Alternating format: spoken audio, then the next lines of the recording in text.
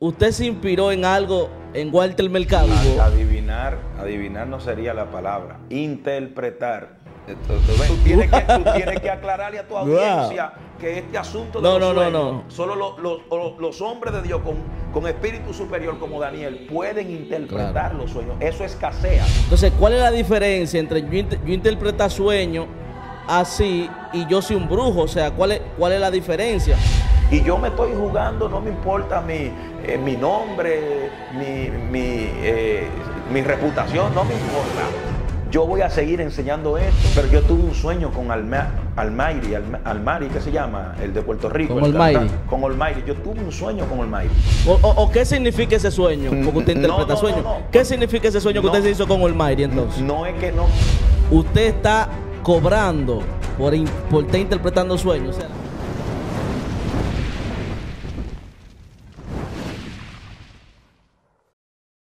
Picante pero edificante de show, el show más picante pero edificante del planeta.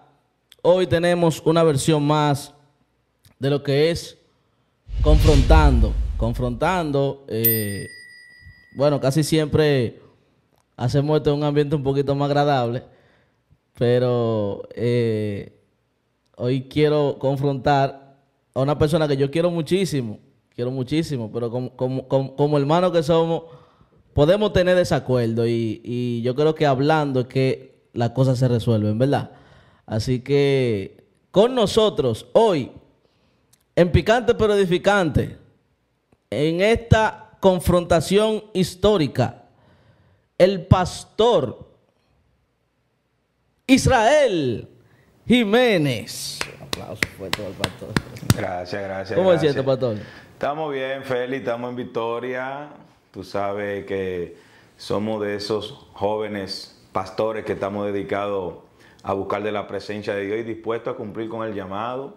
Y agradecido con Dios, con la familia que nos ha dado. Y en Victoria, trabajando duro en medio del caos de la pandemia, de conflicto. Estamos de pie, edificando, edificando vida. Pastor, usted sabe que usted y yo somos amigos y que yo lo quiero mucho, usted lo sabe. Eso es lo, lo importante para mí, eso, que usted sabe que yo lo quiero mucho, fuera de del mundo de las redes, fuera de, de- de todo eso. Usted sabe que yo soy loco con usted. Pero a mí, en lo personal, me hizo mucho ruido esta situación que yo vi. Yo entré a, a- yo entré a Facebook en estos días y me topé con un video suyo. Me topé con un video suyo y como soy amigo de usted, comencé a verlo. Y de verdad me hizo mucho ruido, me hicieron ruido muchas cosas que vi en el video. Pero básicamente usted estaba hablando sobre los sueños, sobre, eh, sobre cómo, cómo adivinar los sueños de la gente ahí, Bueno, a- vivo. a- adivinar, adivinar no sería la palabra. Interpretar. Eh, ve, ya- interpretarle la palabra. Por, por eso Ok. tu espíritu eh, se confundió y, y comenzaste pero a verlo desde otro punto de vista. Ok, pero antes que todo, eh, como a- ayer yo subí un video eh, un poquito picante, yo le pido disculpas si le falté el respeto en algo, porque sabe que le tengo mucho respeto. Le tengo mucho respeto, pero le debo sinceridad a mi audiencia y le debo eh, le, le- le debo ciertas cosas, ¿usted entiende? Y no, no, no podía responder con, con, con suavidad ante algo que le hizo, me hizo mucho ruido a mí y mucho ruido a mucha gente que me sigue a mí también. ¿Usted me Y entiende? qué, y qué bueno que eh, estamos aclarando aquí porque eh, verdaderamente tú tienes muchas personas que, que te, que te aman, te, te aprecian y saben que nosotros somos amigos, eh, pero también me escribieron, eh, ¿qué es lo que está pasando? Eh, o sea, apóstoles, profetas, adoradores, evangelistas, hay un caos con eso, pero qué bueno que hoy vamos a aclarar porque, y, y más quiero sacarte de la duda a ti también, porque yo sé que quizás te siento un poco picante, pero hoy vamos a edificar, vamos a edificar hoy vidas. Eh, ok. Mire, pastor, eh, vamos a ser, vamos a ser, bueno, directos con esto. Lo primero que quiero preguntarle es, a- a- para, para ir entrando, ya, yo sé que usted tiene, eh, es un pastor de, mucha trayectoria, hemos visto cosas poderosas que Dios ha hecho a través de usted. El Ministerio PUA, eh, aquí en República Dominicana y en toda Latinoamérica, ha impactado muchísima gente, muchos milagros. Lo sobrenatural se, ha evidenciado desde el inicio en su ministerio. Eh, y yo estoy consciente de eso. Esta parte de los sueños, pues ya eh, un poquito ruidoso. Una pregunta, una pregunta. Siendo sincero, Pastor, ¿usted se inspiró en algo en Walter Mercado para hacer eso de, de los sueños? Eh, no, no, indiscutiblemente no. Sí sé el reto que hay, porque la gente tergiversa y piensa, bueno, se parece, se va a parecer a Walter Mercado, se va a parecer esto a divinos, eh, encantadores, pero no, yo no me inspiré en nada de eso. Mi inspiración ¿Y por qué, y por qué, por qué ese traje de colores? ¿Por qué ese traje de colores? ¿Por qué esa, esa musiquita como de fondo? Ese ambiente da Univisión Mercado por todos lados. Yo me turbé como Herodes. No, porque tú sabes que los profetas profetizaban con un tañedor. Entonces, punto número dos, los colores, ese es uno de mis trajes favoritos. Yo siempre soy de lo que digo, que si te van a criticar, que sea con, tu mejor vestimenta. Entonces yo me puse mi traje, que me encanta, que me identifica con unos colores que tienen que ver con pacto. Porque cuando tú lees la Biblia y, y observas los colores que tenía la cortina del tabernáculo, identifican esos colores. Entonces la gente se desvía con excelente este tema. ¿Me entiende? Y, claro, eh, sabemos que en las redes sociales hay ciertas palabras que no se pueden utilizar por la política de privacidad que manejan cada, cada plataforma, pero usted sabe muy bien eh, que eh, el asunto de los colores, pues, no es de una sociedad, es un pacto. Entonces ahí es donde está el problema. Ve, la gente rápido me, mira, me juzga, me dice, ah, ¿y por qué los colores? ¿Por qué la música de fondo? Pero porque se va del lado carnal y humano.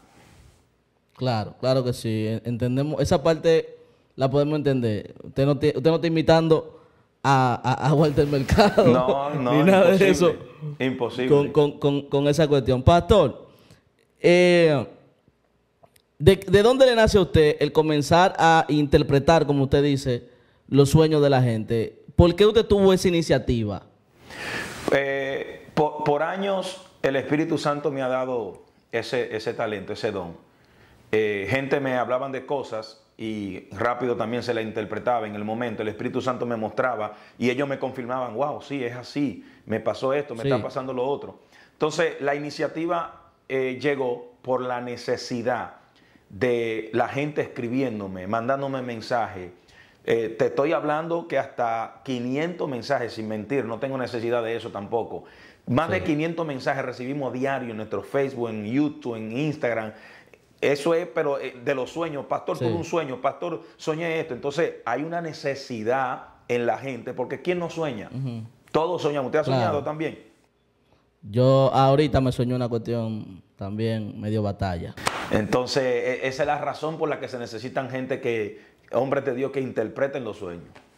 Ok, pastor. Eh, ¿Cuál es el fundamento en las escrituras que usted tiene para decir que eso es de Dios? Porque eh, es, que, es que eso, eso, eso es muy delicado, como comentaban muchas personas en mi, en mi cosa. O sea, eh, lamentablemente para nosotros es difícil ver como a Dios en ese tipo de cosas porque hemos visto demasiada gente bruja en, en esos asuntos, ¿me entiendes? Claro, de hecho, cuando la Biblia dice que el faraón tuvo un sueño y él llamó a sus brujos, sus encantadores, sus adivinos, eh, sus, sátrapas, y dice que no pudieron interpretar los sueños. ¿Entiende? Hasta que uno de los que le interpretaron los sueños que estaba en la cárcel dijo, hay uno que sí interpreta sueños. Que fue José cuando le habló a los que estaban allí, tanto al panadero como al copero, que lo vio con un semblante turbado. Y el mismo José le dijo, ¿y por qué están así? Y ellos dijeron, estamos turbados porque tuvimos unos sueños. Y él dijo, ¿acaso no son de Dios las interpretaciones? Entonces, los encantadores de oh. Faraón no pudieron interpretar los sueños. Entonces, la gente acude a los falsos, a los brujos, a los encantadores, a los hechiceros, y ellos no cargan ese llamado, no cargan ese don. Lo que cargamos ese don, ese talento que proviene de Dios, son la gente que carga la unción. Ok, ok. Entonces, yo quiero que usted me aclare, porque usted me está diciendo a mí que eso de interpretar sueños es bíblico, como usted me lo está explicando, pero entonces, ¿cuál es la diferencia entre yo, interpretar sueños así y yo soy un brujo. O sea, ¿cuál es, ¿cuál es la diferencia? ¿En qué se diferencia? Porque si no hay ninguna diferencia, ¿cómo yo puedo decir, ah, no, esto de interpretar sueños de Dios y esto de, adivinar sueños del diablo? ¿Cuál es la diferencia entonces? Sencillo, sencillo. El, brujo va a jugar con tu mente. El encantador va a jugar con tu mente. Va a empezar a alucinar, va a empezar, eh, me parece que esto, que aquello. De hecho, los que eh, dicen que Dios lo usa en ciencia, tú lo ves que dice, ve una letra M, que yo también he caído en ese rol de decir, ve una letra M, pero uno nunca termina de decir el nombre. ¿Entiendes? o sea, hay, hay, mucha, hay mucha falacia y mucha mentira con eso. Claro que sí, porque muchas veces se juega con la mente. Cuando Dios te revela algo, te lo revela claro. José le, interpretó el sueño al panadero y al copero y se lo dijo claro, precisamente claro. ¿Entiendes? Entonces hay una gran diferencia, no nos podemos confundir con esto. Los hombres de Dios cuando interpretan los sueños, permíteme porque esto se está poniendo interesante y picante. Escucha, para que tú, para que tú entiendas.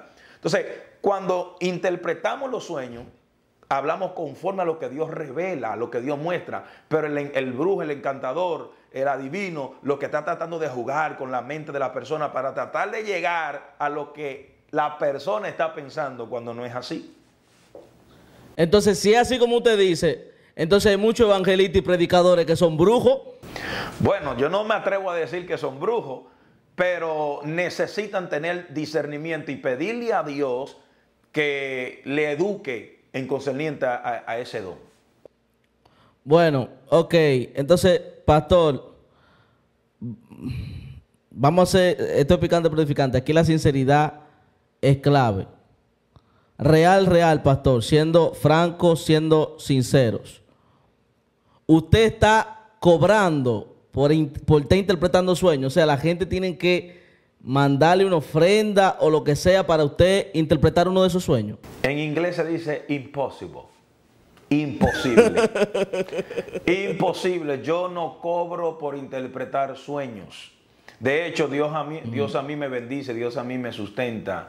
Eh, claro, yo estoy consciente de eso. Usted no tiene. Exacto, no tengo que dar ni detalle aquí, pero yo no cobro imposible. ¿Cómo voy a cobrar por interpretar sueños? José nunca cobró por interpretar sueños. Entonces, tú, tú me preguntabas también al principio que si hay un fundamento bíblico. Claro que lo hay, muchos fundamentos bíblicos. Y te voy a dar Biblia ahora, porque a veces la gente vamos, dice, vamos, vamos, a entrar, vamos a entrar profundo, okay, vamos a entrar profundo en la Biblia, porque si no es con Biblia, yo, yo no, voy a, no voy a terminar de entender bien. Agárrate la gorra bien. Primer principio. Cuando Dios sacó a Eva de la costilla de Adán, ¿Qué fue lo que produjo en Adán? Lo durmió. Lo durmió. Un sueño, un sueño, un sueño. Claro. O sea, la mujer es producto de un sueño. Dios durmió a Adán y al dormir lo sacó a Eva. Por ejemplo, tengo aquí un verso de la Biblia, porque veo, veo a Daniel, veo a Daniel soñando. También, por ejemplo, Daniel 2.26. Vamos a buscarlo aquí. Daniel 2:26 dice, respondió el rey y dijo a Daniel, al cual llamaban Belsasar, ¿podrás tú hacerme conocer el sueño que vi y su interpretación? Daniel respondió delante del rey diciendo, el misterio que el rey demanda, ni sabios, ni astrólogos, ni magos, ni adivinos lo pueden revelar al rey. Pero hay un Dios en el cielo, el cual revela los misterios, y él ha hecho saber al rey Nabucodonosor lo que ha de acontecer a los postreros días. Es decir, que los sueños tienen que ver con lo que viene a pasar en el futuro. Los astrólogos, los adivinos, los hechiceros brujos no tienen la interpretación porque la interpretación viene de Dios. Entonces en la Biblia hubieron hombres que tuvieron revelación, tuvieron visión y tuvieron sueños, que son tres cosas diferentes. La visión tiene que ver con el ahora. Si yo veo un ángel en el momento, eso es una visión. Si veo una revelación, es Dios hablándome un mensaje. Pero si tengo sueños, que todos soñamos, es Dios dándome un mensaje que se aproxima en el futuro. Ok. Eh, bueno, ahora usted mencionando eso, me trajo a memoria el, texto bíblico del profeta Joel que dice que eh, en los posteros tiempos el Espíritu será derramado sobre toda carne. Claro, claro. Vuestros jóvenes tendrán visiones, creo, y dice que tendrán sueños también. vuestros ancianos tendrán sueños. Entonces, sí, ya, sí, estoy entendiendo un poquito mejor la cosa que usted me está, me está tratando de explicar. Viéndolo de esa perspectiva, eh, se podría considerar muchas cosas el, asunto está, pastor, en que es que nosotros, bueno, a mí en lo personal, yo sé que a mucha gente. Hay, sueños, y disculpa que te interrumpa, hay sueños que a veces no tienen que ver nada con nosotros, ni que va a suceder algo. Claro, eh, porque hay, hay, una persona que una persona se puede soñar comiéndose algo, montándose en un vehículo, y a veces, muchas veces no tiene que ver nada. Hay sueños que están conectados a tu estrés, a lo que tú estás mucho pensando. De hecho, hay gente que se ha soñado con mujeres teniendo intimidad que ni la conocen y ni en eso están pensando. ¿Me entiendes? Pero hay que prestarle atención a los sueños porque traen un mensaje. Por ejemplo, mire, dice el, al que consideran el padre de la psicología, voy a poner un aporte aquí, eh, eh, bueno, que los sueños son proyecciones del subconsciente.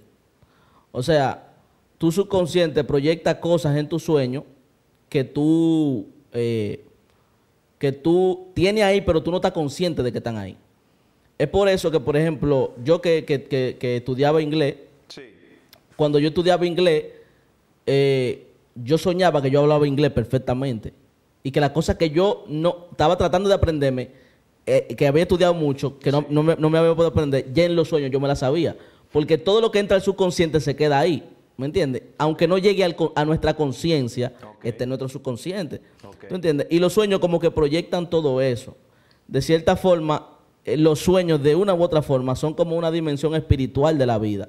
O nos reflejan o nos manifiestan una, una dimensión espiritual de la vida y yo creo que ahí sí, ahí sí podemos estar De hecho, yo, yo prediqué hace muchos años en Bani, eh, bajo el tema, creo que fue eh, un pacto con Dios, algo así, no recuerdo.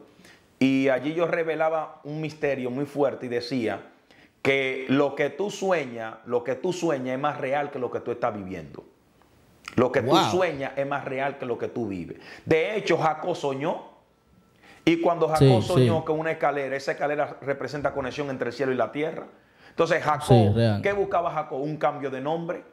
Un cambio de nombre. Entonces cuando vio la escalera, es la esperanza que hay, que él siendo un ladrón en la tierra, en el cielo le, le podían cambiar el nombre. Entonces todos los antiguos soñaron. Ahora, hubo alguien en la Biblia que no, que no soñó, que estuvo conectado a la promesa.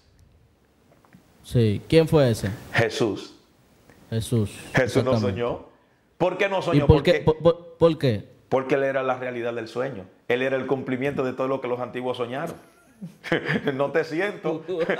tú, tienes que, tienes que, aclararle a tu audiencia que este asunto de los sueños, solo los, hombres de Dios con, con, espíritu superior como Daniel pueden interpretar los sueños. Eso escasea. Y yo me estoy jugando, no me importa mi, eh, mi nombre, mi, mi, eh, mi reputación, no me importa. Yo voy a seguir enseñando esto y, de acuerdo a lo que Dios me va revelando, claro, porque no es que me voy a poner y que, que, todo lo que me digan que me soñé, yo lo voy a estar interpretando. No, el Espíritu Santo me dice, interpreta ese, interpreta aquello. Te estoy diciendo que nos llegan cientos y cientos. La gente anda confundida porque, Félix, hay sueños que se convierten en realidad. Que se convierten ah, en realidad. Ah, ok, entonces, Pastor, también me fluye otra pregunta crítica ahora a mí. Otra pregunta crítica. ¿Me entiendes? Porque usted, usted dice que usted está dispuesto a lo que sea, pero... Y, te voy a decir algo, me soñé con un artista y te quiero contar ese sueño porque es muy delicado. Pero espere, deje eso para ahora. Pero déjeme hacerle esta pregunta un poquito picante. En la iglesia primitiva, ¿usted vio en algún momento a alguno de los apóstoles de que, de que, de que interpretando sueños, de que, de que vengan, tráiganme su sueño? ¿Usted, usted, en alguna, ¿Usted tiene algún argumento para decir que en la iglesia primitiva eso pasó? Bueno, en la, iglesia primitiva, como tal, eh, no hay como un, versículo bíblico de alguien que diga, tráigame la gente para interpretar sueños, pero en la Biblia de, la iglesia primitiva sí hubo un apóstol que tuvo esa oportunidad, no solamente de, ver sueños, sino también de tener revelación, visión y los sueños, y fue Juan. El apóstol más cercano a Jesús tuvo la revelación más grande y los sueños más grandes de lo que había de venir. Claro. Así es. Pero como te contaba, mira. no, no, no, no, no, la tiene, no, el pastor la tiene, no, la tiene, la tiene. No, no, es que, es que, nos metemos en la palabra. La gente rápido opina. Fíjate que el que opina no lee. El que tergiversa, el que contradice, no lee. Entonces, y quiero decir esto con mucha delicadeza, sin faltar el respeto a nadie. Pero yo tuve un sueño con Almairi, Almari, ¿qué se llama? El de Puerto Rico. Con Almairi. Con Almairi. Yo tuve un sueño con Almairi. Y en el sueño yo lo vi acostado en una cama de hospital. Y veía que en todos los noticieros estaban dando una noticia de él. Y yo me puse la mano en la cabeza, pero en el mismo sueño yo vi que él se levantó de la cama y cuando abrió los ojos vio un lugar y dijo, ¿qué hago aquí? Y en ese momento yo desperté. Y al otro día yo, yo no dejaba de pensar ese muchacho y empecé a orar por él y a orar por él y a orar por él. O sea, hay sueños que Dios te los muestra también, que no es para que te crea la gran cosa ni para que empiece a publicar rápido cosas de una persona, es para orar y para interceder. Eh, Pastor, usted está consciente que esto, se está grabando y esto va a ser publicado. Sí, pero yo... Se la está usted se la está jugando con lo que está diciendo ahora. No, no creo porque yo mantengo un nivel de prudencia. El hecho de que Dios te dé un sueño o una revelación o algo que Dios te muestre, tú no, no quiere, no quiere decir que tú estás, eh, de, eh, o sea, eh, difamando a una persona. No, no, no, usted no lo está difamando, pero ¿y si no pasa eso que usted... O, qué significa ese sueño? Porque usted interpreta sueño. ¿Qué significa ese sueño que usted se hizo con Olmairi entonces? No es que no, no es que, qué significa, simplemente te estoy diciendo lo que vi en el sueño. Lo vi acostado en una cama de hospital, que los noticieros empezaban a hablar de él y que en el sueño él se levantó y vio un lugar y él preguntó, ¿y qué hago aquí? ¿Me entiendes? Entonces es una señal que Dios le está dando oportunidad a ese muchacho. ¿Me entiendes? ¿Y ese lugar que él vio era el cielo o el infierno? Yo no pude descifrarlo, no pude identificarlo. Simplemente ahí mismo, cuando él dijo, ¿y qué hago aquí? Se me desperté. ¿Usted entiende que hace falta en este tiempo eh, que haya un ministerio sólido, así como lo hay de profetas, como lo hay de evangelistas, de diáconos, de un servicio a la comunidad cristiana de personas que interpreten sueños. ¿Usted entiende que eso bueno, servicio a la comunidad, es necesario? Servicio a la comunidad cristiana ya, ya tiene otra perspectiva. Yo pienso que los hombres de Dios, los profetas, perdón, los hombres ungidos que cargan un llamado, están ahí llamado don de ciencia, don de profecía, don de, interpretación de, los sueños. E, esos hombres de Dios están ahí. Pero el hecho de que de agarrar esto y hacerlo y convertirlo en un negocio, no lo veo, no lo veo correcto. No, no, no, no, porque, ah, mira, y ahí iba, pastor, era algo que no quería que se me escapara.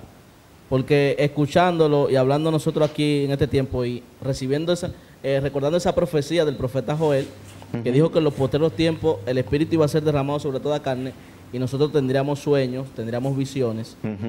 Eh, entendemos que estamos en los posteros tiempos. Cristo viene pronto. Claro. Y, pastor, no me gustaría que pase, porque eh, es muy sólido las cosas que usted me está diciendo y realmente se puede entender que es necesario eh, lo que usted está comenzando a hacer ahora. Por, por, por, esta, por eso es que hay que hablar las cosas, pastor, cuando hay desacuerdo. Esto es un ejemplo para la iglesia, pastor. Cuando hay desacuerdo, prefieren matarse que hablar. Qué bueno que podemos comunicarnos y hablar esta situación. Entonces, pastor, no me gustaría que pasara algo parecido como lo que ha pasado con el don profético. Que el don profético en este tiempo se ha prostituido totalmente. Bastante, es correcto. ¿Me entiendes? Ahora, ahora, ahora ya no hay evangelista, pastor, todo el mundo dice que profeta. Porque si tú eres evangelista te dan menos ofrenda que a un profeta. Y la gente lo que anda buscando es profecía. Eso es aberrante. La gente lo que anda buscando es profecía. Sí, sí, también, también, también. Entonces, usted debería tomar cierta consideración con eso, ya que usted está comenzando esto, ¿verdad? Y yo sé que esto va a tener un impacto fuerte. Eh, para que ese, ese, ese, ese don no se prostituya en este tiempo. Claro, claro. No, sí, yo me manejo con mucho cuidado y le aconsejo a esta generación que esto no es un juego, que esto no es para llamar a la atención ni para agarrar al público, que esto es algo muy serio, porque en un sueño se, muestran infidelidades, en sueños se muestran traiciones, eh, en sueños se muestran peligros. Lo que a mí me, pasó en, un, aeropuerto, cuando a mí me cancelaron mi visa en aquel tiempo, hace muchos años atrás, fue mi mamá que tuvo ese sueño. Y ella me dijo, hijo, vi dos hombres que te golpearon en la cabeza. Y así mismo fue en el, en, el, sueño, pero en realidad dos federales en el aeropuerto me cancelaron mi visa y me mandaron para mi país. Ya después, pues Dios me proveyó, me dio residencia y hoy en día soy ciudadano americano. O sea que eh, eh, es cuestión de saber eh, prestarle atención porque hay sueños que te, muestran algo. Claro que sí. Pastor, ya para ir entendiendo un poquito la dinámica de lo que usted hace. ¿Cómo es el asunto? La gente le manda un correo y usted, usted me, está diciendo que usted recibe cientos de correos diarios. Usted tiene una, interpretación para cada sueño. ¿Cómo sucede eso? ¿Cuál es la mecánica? ¿Usted ve algo? ¿Dios le revela algo? ¿Usted siente algo? ¿Qué es lo que sucede? Yo, yo, yo, empiezo a ver la vida de la persona. Yo, yo, ¿Qué? Yo empiezo a ver, me- sea, el Espíritu Santo me introduce en la vida de la persona y empiezo a ver todo lo que está pasando en la vida de la persona. Wow. Así es. ¿Y, y desde cuándo, desde cuándo usted tiene ese don, pastor? Desde muy pequeño. Desde Le, muy le- le- pequeño. le ha tocado, le ha tocado interpretar sueños trágicos y tener que revelárselo a personas eh, Bueno, sabiendo usted bueno, que es una, es una mala noticia para esa persona que usted le interprete ese sueño. Sí, yo le, yo le he tenido que decir a personas, mira, soñé esto, soñé aquello, pero va a pasar esto, aquello, cuídate de esto, de aquello, y la persona se libra, se libra del mal. Yo cuando era pequeño me soñé con uno de mis mejores amigos, que todavía somos amigos, me soñé que un carro rojo lo iba a chocar. Y al otro día cuando me desperté, eran como las 12 más o menos de la- del mediodía, y estábamos sentados en un, un parquecito frente a su casa y venía un carro rojo. Sí. Y, y- y mi mente dijo, claro. oh, pero yo vi esto en un sueño. Y, y como yo vi que en el sueño lo iban a chocar, en ese mismo momento, pasando el carro rojo, yo le agarré la mano y le dije, ven acá, quédate aquí. Pero nunca le dije que yo había tenido ese sueño. El sueño. Wow, wow, Sí, fuerte, fuerte. es. Pastor, eh, ¿dónde podemos encontrar este contenido? Y yo espero que en algún momento usted eh, use una de sus plataformas para enseñar sobre esto también, porque es profético. Yo ahora, hablando con usted, analizando esto, me doy cuenta que es algo profético en este tiempo. Eso va a sobreabundar, los sueños y visiones van a sobreabundar. Va a sobreabundar, Necesitamos gente que, de el Joel Exactamente. dijo, va a necesitamos, neces- necesitamos gente que interprete y usted no lo puede hacer usted solo. Así es, sí. Entonces, Pero sería no bueno se que en algún momento usted, usted levante una plataforma para... Sí, diga. que las generaciones no se vayan a prostituir y empezar que yo interpreto sueños, porque la gente lo va a ver como eh, es- es satánico, hechicero, adivino. No, no, esto es un, un Claro. don de Dios que Dios, cuando te muestra a la persona y te, te- la persona te empieza a decir el sueño, tú empiezas a ver en el espíritu todo lo que está sucediendo con esa persona. En nuestras redes sociales, Pastor. en Facebook, en Facebook nosotros tenemos muchos videos ahí En- que en ya tienen millones de En reproducciones. su Facebook, ¿cuál, ¿cuál es su Facebook? ¿Su Facebook cuál es? Pastor Israel Jiménez. Ok, En lo vamos a poner aquí en pantalla para que la gente lo esté viendo en este momento. Pastor, un mensaje a todas las personas que dicen que usted es Walter Mercado cristiano. El Cristian Casablanca de Dios. Los bendigo. Los bendigo. Los bendigo. Pastor, muchísimas gracias. Muchísimas gracias por estar aquí. Muchísimas gracias por estar Gracias a aquí. ti, gracias, por gracias a ti su tiempo. Qué bueno que podemos aclarar la- las cosas. Amén, Reconozco que en parte de mi comentario posiblemente me equivoqué y cometí un error que mucha gente ha cometido conmigo, que no, no fue entender las cosas nuevas que Dios está haciendo en este tiempo. Le pido disculpas eh, nuevamente por eso y yo espero que, que este don pueda ser de bendición para la iglesia.